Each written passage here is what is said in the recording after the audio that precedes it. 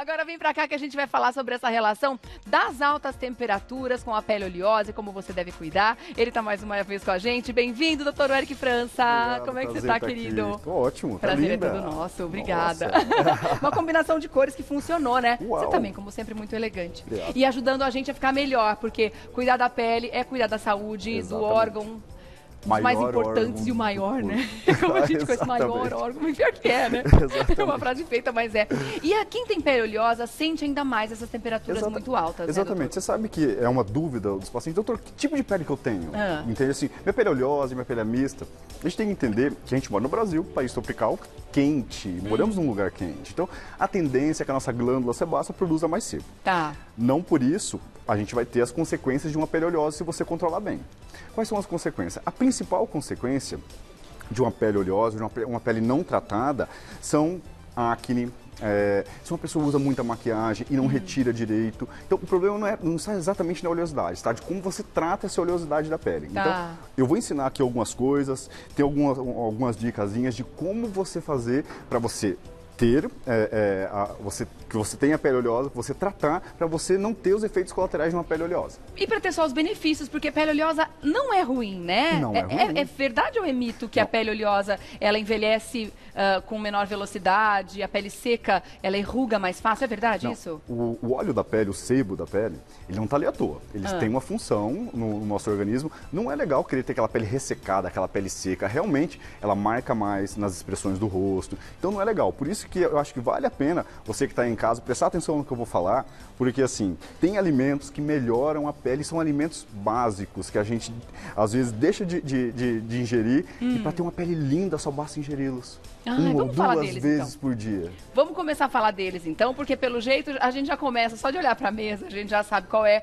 o cantinho do bem e o cantinho do mal. É isso. né? Dos alimentos. Vamos começar a falar sobre os alimentos que a gente deve evitar para quem tem pele oleosa, principalmente. Você sabe, né, que tem aquele mito. Chocolate causa espinha, Hum. não causa espinha, dá acne, não dá. O que, que você acha? O que, que, que, o pessoal sala de casa acha? Ah, Se ele tá aqui na mesa no cantinho do mal, já... não vou nem dar a resposta errada, né? Porque eu sei que ele faz bem para algumas coisas pra gente, principalmente naqueles momentos do mês, mas tem os efeitos colaterais do Exatamente. chocolate, né, doutor? Bom, o que as pessoas não sabem que o chocolate faz mal, ele acha que é o cacau, é a gordura do chocolate. não, gente. Ah, o que que é? O que faz mal é o açúcar do chocolate. Ah. Então, vamos, o chocolate é legal, o chocolate ele é anti-inflamatório, o chocolate tem flavonoides, então é ótimo flavonoides para pele. Então, se a gente escolher pelo 70%, acostumar com aqueles chocolates bem, né, 80%. Maravilhoso. Aí sim é legal. É isso. Não precisa se então, privar. Hum. então ele está aqui com esse adendo, chocolate ao leite, porque o leite, açúcar, açúcar aumenta a glicose do sangue, Ah. fazendo a glândula sebácea produzir mais sebo e levando toda a consequência da acne, entendeu? Tá. Existe uma bactériazinha que adora eh, essa oleosidade da pele, chama Propionium bacterium acne. A gente apelidou ela de P. acnes. Ah. Entendeu? Então, quando você tem uma pele muito oleosa, essa bactéria se aproveita, vai lá no folículo, faz um processo inflamatório e dá aquela lesão vermelha que a gente vê no rosto dos adolescentes ou até na- na- no rosto das mulheres adultas. algumas, algumas- alguns adolescentes têm muito isso, né? Muito, muito mesmo. Então, pessoal, tá aqui na bancada, ah, no time, Ah. no time do mal. O chocolate ao leite. Ao leite. Que fique claro para que o, o amargo seja inocentado. Exatamente, ele só faz, além de ser gostoso, só Além faz bem. ser gostoso, é. Então aqui junto tem ah, os, os derivados da farinha branca. Então aquele pãozinho em excesso que a gente come, Hum. aquele bolo, aquele, ah, ah, aqueles doces de, de açúcar refinado, tudo isso aumenta a glicemia do sangue, faz o mesmo processo que eu falei, Tá. produzindo mais sebo na glândula e a bactéria se aproveita disso e faz a espinha E inflama. e inflama. Exatamente. Aqui está representado também o arroz, o arroz branco em excesso. Nós brasileiros adoramos arroz e arroz é gostoso. É bom. É, mas o- vamos dar preferência para o arroz integral. O arroz branco realmente aumenta o índice glicêmico e causa uma pele mais oleosa. Entendeu? O macarrão é a mesma história. Uhum. Tá. Então por isso que eles estão aqui nesse cantinho meio de castigo. Cantinho do mal. Cantinho do pode comer de vez em quando, para não fazer uso Exato, direto, né? Exatamente. Tá. É. Equilíbrio, né, doutor? Uhum. E o cantinho do bem? Quais são os alimentos o que a gente pode comer? é- Ah, tá tá aqui. aqui. Tá aqui. É que, ah, ali é receita. É receita. Tá bom, ele é receitinha para logo mais. Tem uma receita bacana, caseira, fácil de fazer, para deixar a pele boa e tirar o excesso de oleosidade. Bom, o que, que é legal Vamos, aqui? vamos dar uma olhada aqui, a gente já vai ter. É intuitivo, Eu né? adoro tudo. É. Então aqui, o, se, se você tem acne em casa, é, e aquela acne inflamatória vermelha, Hum. dê preferência para alimentos que tenham ômega 3. Por exemplo, o salmão. Ah. Salmão maravilhoso, rico em ômega 3, ele é anti-inflamatório. Então ele ajuda até a desinflamar as espinhas Uhum. de quem tem muita espinha no rosto. Mas não é só o salmão. Sardinha também é lotada de ômega 3, né? É, e tem até mais ômega Tem 3. mais. E eu prefiro muito mais sardinha. É que é mais chique trazer o. o- Mas- mas o, o preço desse cara aqui tá, tá complicado. Então vamos de sardinha. A sardinha vamos de sardinha. Vamos de sardinha. Boa, boa. Tá, que mais? Então, a gente tem aqui a castanha do Pará, que ela é rica em zinco. E o zinco, ele ajuda na cicatrização da pele. Então, Ah. aquela, aquela acne que, que tá ali madura, três a quatro castanhas ao dia, ele ajuda o processo de cicatrização. É ótimo, é natural, é gostoso. Tá. 3 a 4 por dia. Por dia. É o É nosso limite. é o tá? limite. Dá vontade de ficar comendo que nem pipoca, né? Não dá. Mas não pode. que Aí mais? fica com a pele linda e dá uma engordadinha. não Então, é, aí vem, vem pra uns lugares que a gente não quer.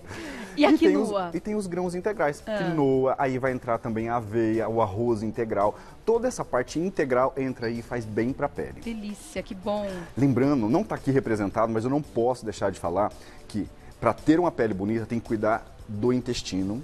Então temos que beber muita água. Tá. Muita água quanto, doutor? De 2,5 litros e meio a 3 litros de água. Vamos representar ela aqui então, gente. Exatamente. Água, vamos botar. Que ela Água. vive atrás de mim no estúdio também. ó. Precisa de água. Tá. Junto com essa água, os alimentos que têm fibras são muito bem-vindos também, faz o intestino funcionar, a pele fica linda e eu acho que vale a pena agregar tudo isso na sua alimentação diária. Frutas frescas, estou vendo aqui que tem as- a representação da vitamina C, né? No Isso, represen- laranja limão. Uhum. representado laranja e limão, vitamina C, maravilhoso. E a vitamina A, que é maravilhosa, a vitamina A para a pele e pra- principalmente para quem tem acne inflamatória. Tá. Entendeu? Vitamina A pela cenoura aí representado. Tá, e tantos bom? outros que você pode pesquisar também por conta Exatamente. própria, porque quando a gente fala de alimentos frescos, a riqueza de nutrientes Sim. que eles vão trazer para a vida da gente vai melhorar tudo, né? Tudo, Como tudo. um todo Um mesmo. equilíbrio. Agora, vamos falar da limpeza? Você sabe Exatamente. que eu vou até dar um testemunho aqui, que você me deu de presente, entre tantas coisas Uhum. fantásticas, uma água micelar, que eu não tinha a- a- o costume de usar para limpar a pele. E aqui a gente usa maquiagem todos os dias e não é qualquer maquiagem, é, é reboco mesmo, é massa corrida, fazer o quê, né? Hoje o HD tem- faz isso com a gente. Aí, quando eu chegava em casa, eu só lavava, Uhum. né, com sabonete neutro e tal. Agora eu lavo e passo essa micelar com algodão. A cor que sai no algodão É é de cair o queixo. Exatamente. Algodão e pescoço. E Aliás, eu- obrigada. Imagina. Querido.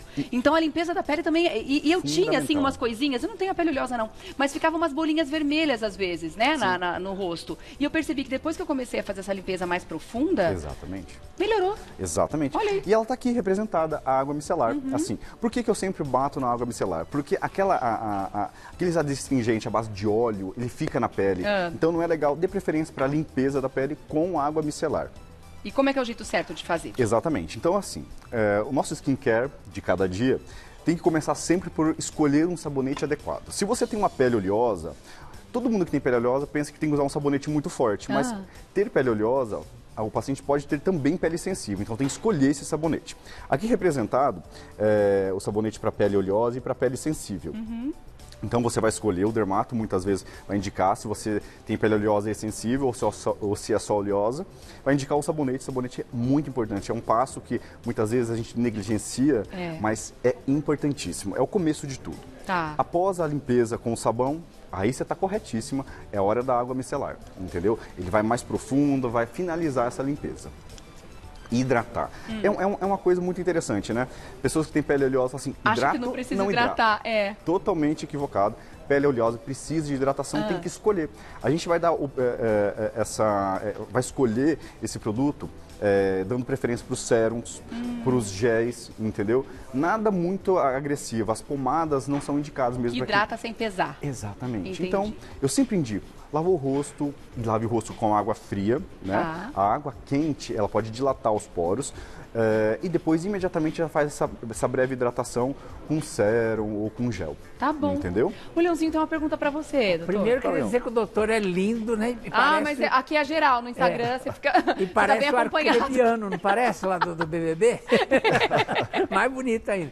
Mas, ó, eu, eu queria saber um pouco sobre couro cabeludo. É a mesma coisa com a pele, ah, a, a gente trata o couro cabeludo, quer dizer, ah, porque às vezes a pele tranquilo, ok, mas o couro cabeludo tem lá umas ficam uns probleminhas, sempre umas crostinhas. É umas verdade, coisas. bem Como lembrado, é Leão. cuida O disso? cabelo também sofre com essa oleosidade em muito, excesso? Muito, muito. E tem, tem pacientes que têm é, uma doença específica que chama dermatite seborreica. Ela fica realmente gruda no couro cabeludo. E tem que ser tratada porque a dermatite seborreica, é, é, em excesso, ela pode causar um, um grau de alopécia, que é a queda do cabelo. Então é importantíssimo, é, isso que você é, salientou, cuidar também da pele e da oleosidade do couro cabeludo.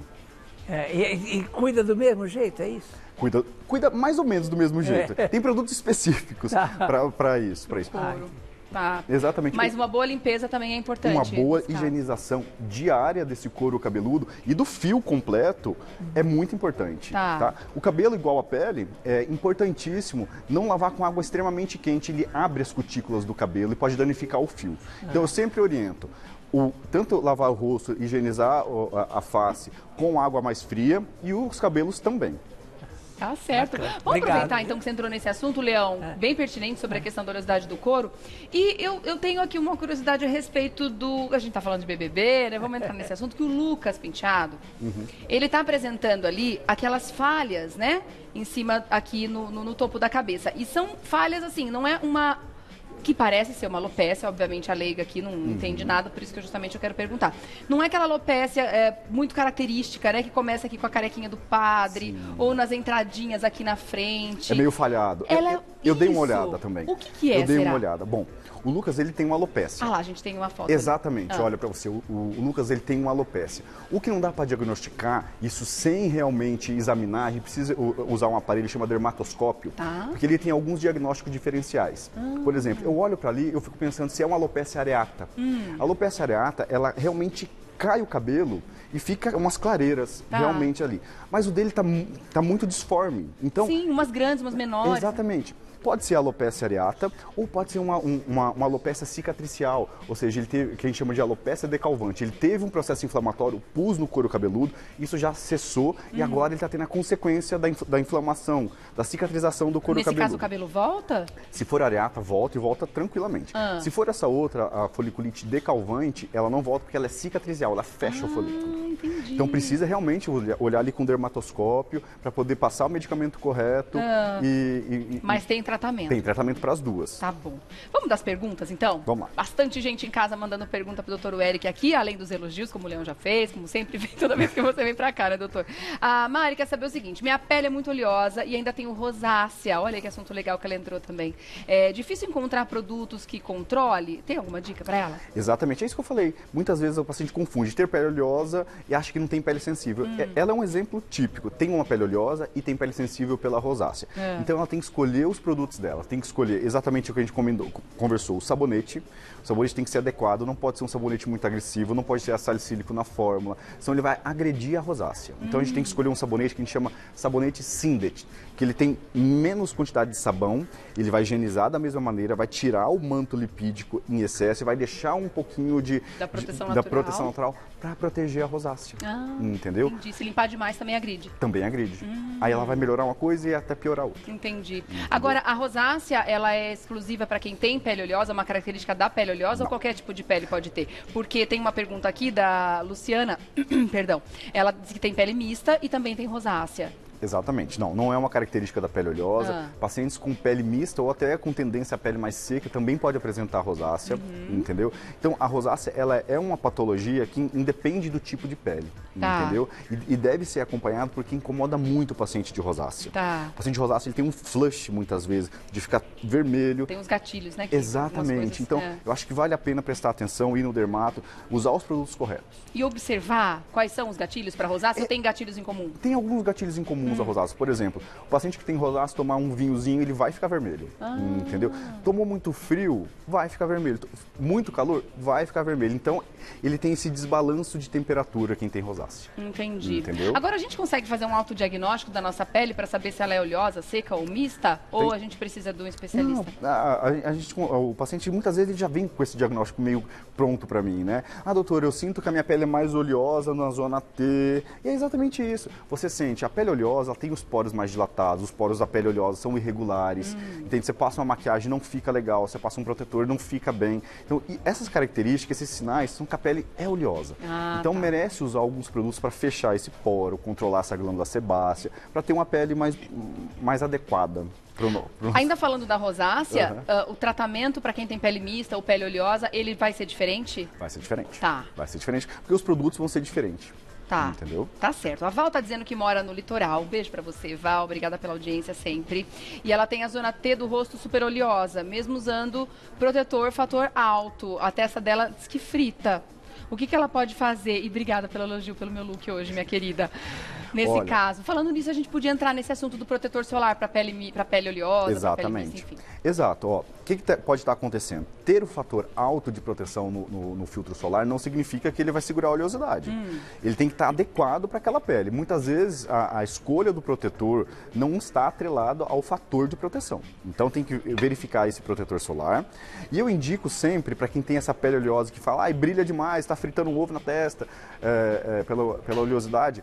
Passa no dermato, ele vai te indicar, vai te indicar um ácido adequado para a sua pele. Isso vai diminuir os poros, melhorar a glândula sebácea e diminuir a produção de sebo. Tá. Nossa, tá bombando de pergunta aqui. Eu acabei de atualizar. Perdão, gente, hoje tá meio chatinho aqui. É, Deixa eu ver a pergunta delas tem a ver com isso. Enfim, vamos lá. A Vidai. Minha filha tem 9 anos ah, e ela observou de alguns meses para cá que a região T do rosto está apresentando ah, pequenas e discretas espinhas. Ela está entrando na fase da mudança corporal. Nem me falha, minha também está com 9 anos e já está com várias coisas acontecendo. Essas erupções são normais nessa fase?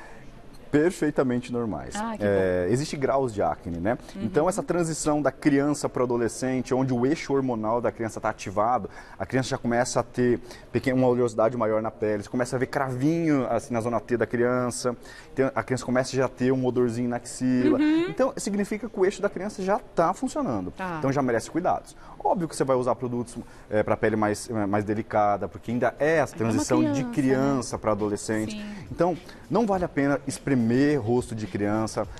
Leve no profissional, use um, um- um- um material adequado, um medicamento adequado. Muitas vezes, coisas simples. E até essas dicas funcionam muito para criança. Tá. É, quanto mais natural, melhor, né? Quanto mais natural, melhor. Tá certo.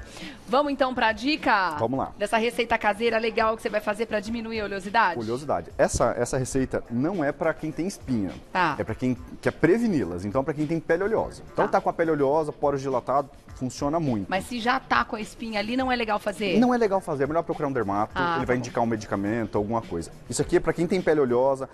Essa receita, ela vem coisas natural que a gente tem na cozinha em casa, normalmente. Então, tem o fubá.